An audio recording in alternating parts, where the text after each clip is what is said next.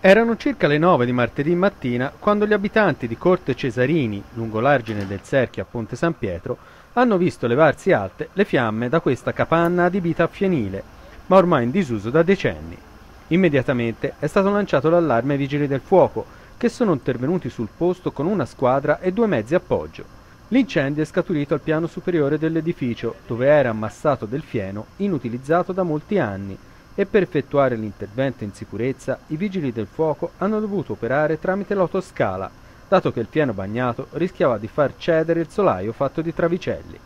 Nonostante la pioggia della mattina, ci sono volute diverse ore per bonificare eventuali focolai all'interno delle balle.